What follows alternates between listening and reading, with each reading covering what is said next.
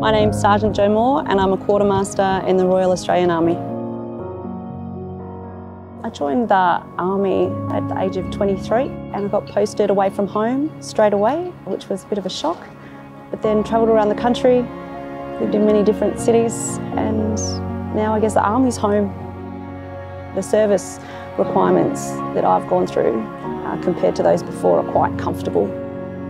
Through technology, the equipment and clothing that we wear now is far more comfortable and user-friendly, and I think the food may have improved as well.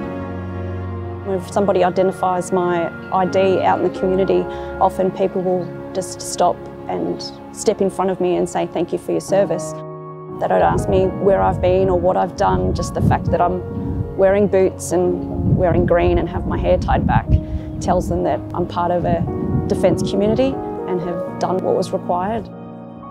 I definitely appreciate the acknowledgement and I think that's all anybody wants is just to be acknowledged that, that you put your hand up and you pulled the boots on and carried that rifle and did your duty. I really like that we're now acknowledging the modern day soldier. There's definitely always room for the soldiers that have come before us, not to be forgotten, that they made the pathway that we now follow and that the ceremonies and traditions need to be taught to our children so that they can be carried on for generations to come.